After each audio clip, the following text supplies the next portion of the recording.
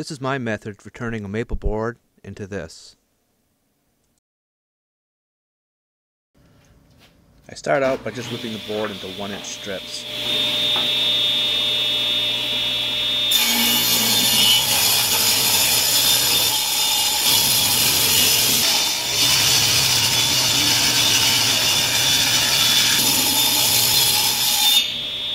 I'll start out with this ring. It's six and a half inches in diameter. So each segment, and there's 12, will need to be 1 and 11 16th inches wide. To figure out segment length, just do a search online for segmented turning calculator and they'll do all the math for you as well as give you the angle of cut. Here I'm just cutting the end to a 15 degree angle.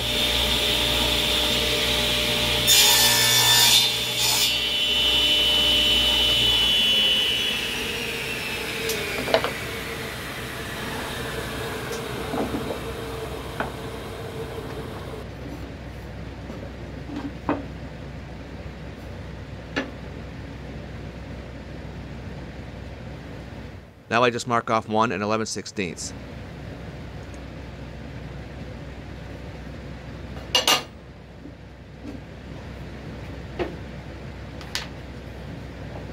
Now I just line the mark up to the edge.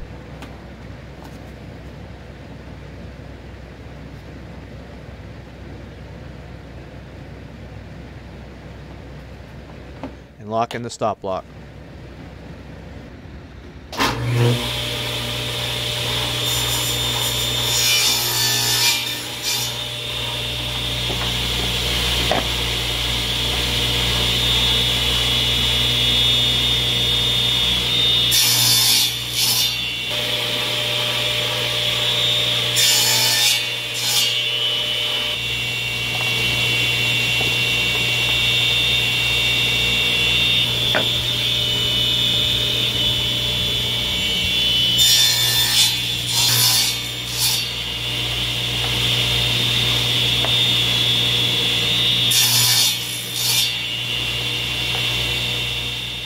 Just lightly sand each piece to remove any burrs left from the blade.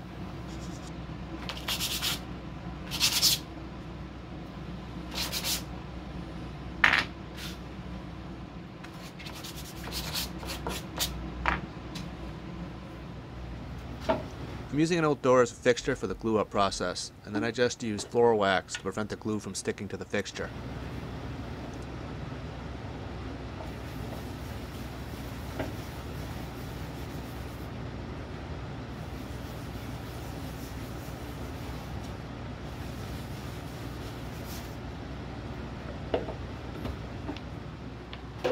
These pegs will help with putting the rubber bands on the rings after glue up. A very small amount of glue is all that's needed here. I then just kind of rub them together like a friction fit. Kind of hold them for a second, and then that's it.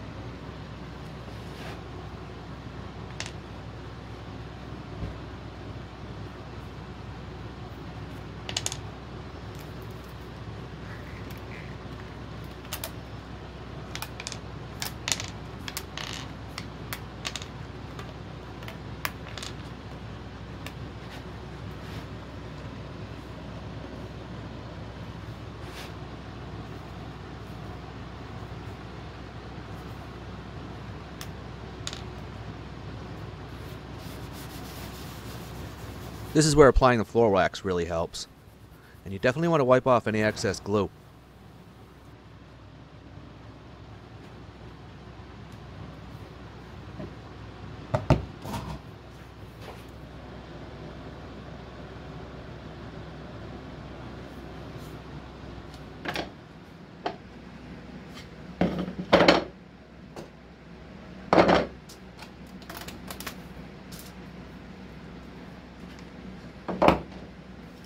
After they've dried, it's time to stack them.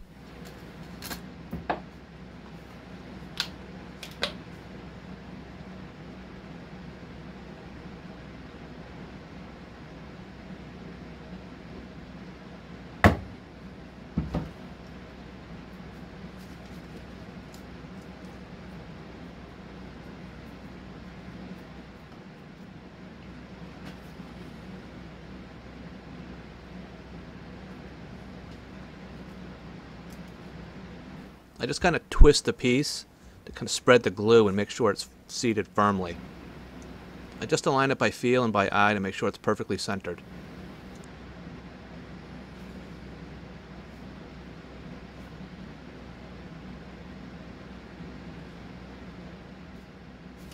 After letting the first two tack up for about a half hour, I apply the third ring.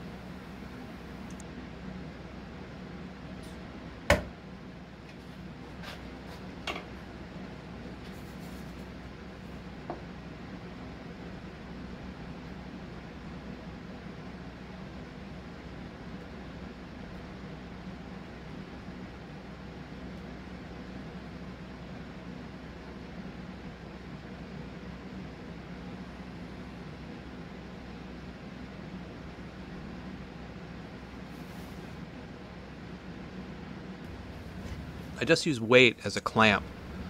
Nothing special, just whatever I had laying around in the workshop.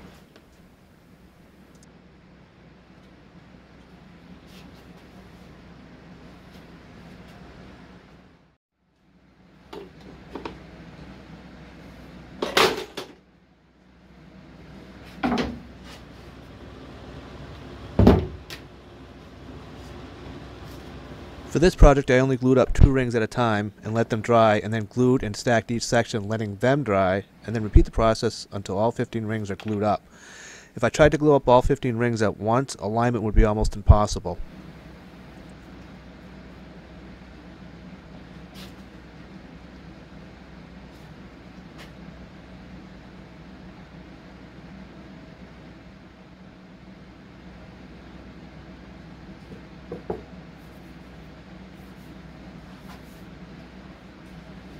Also, gluing them up this way means I don't need any special jigs or special clamps.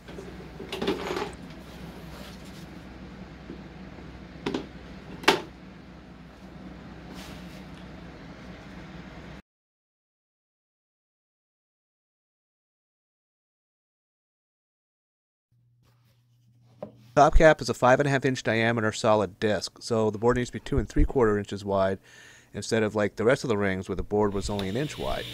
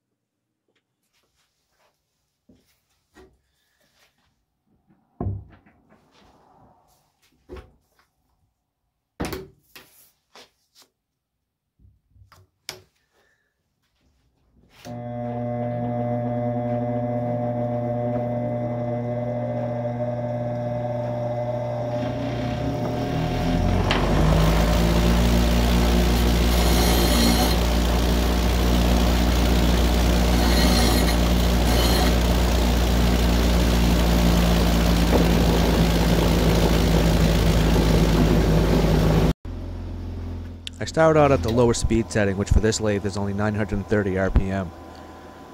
After I knock off all the corners, I'll turn the speed up.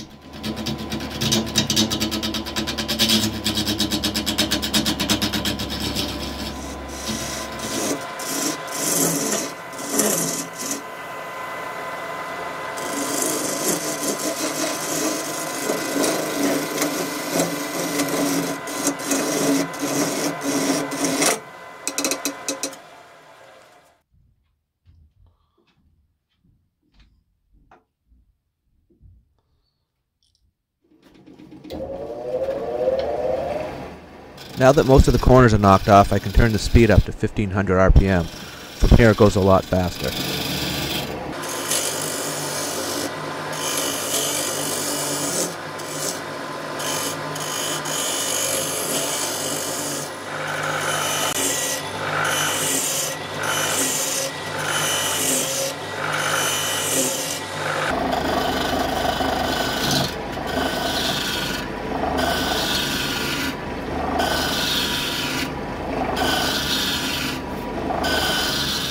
Now that I'm finished with the gouge, I'll use the scraper to smooth everything out.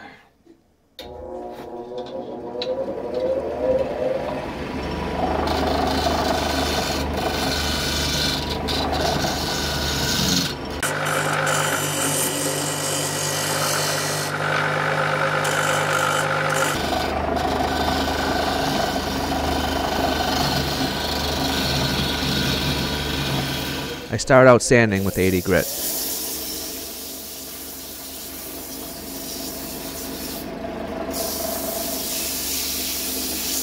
Then 120.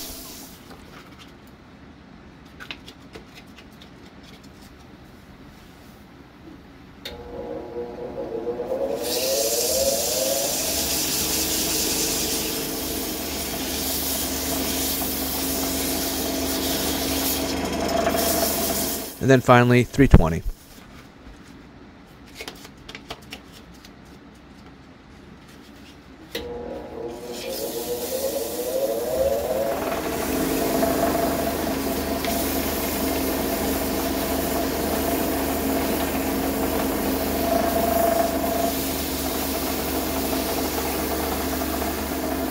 Here I'm using the shavings to burnish the piece.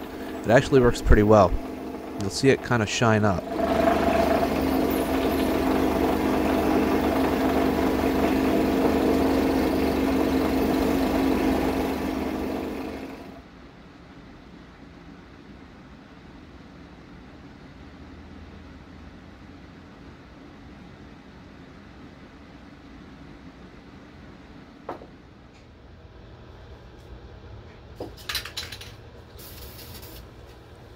I'm using a product called Poly Shades. This is in a pecan satin finish.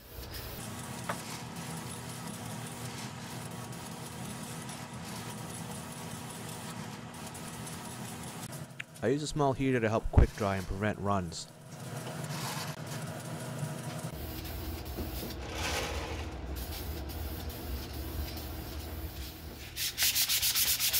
After 24 hours, I give it a light sanding with 320 grit sandpaper.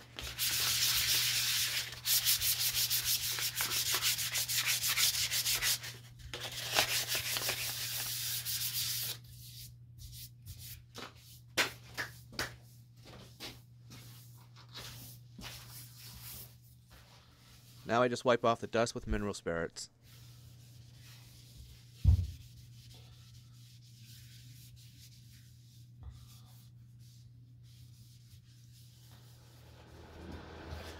Now I just give it a few more coats of poly shades. This gives it the look that I was going for. I'll come back again after 24 hours and spray it with a coat of semi-gloss. For some reason the poly shades only seems to come in satin.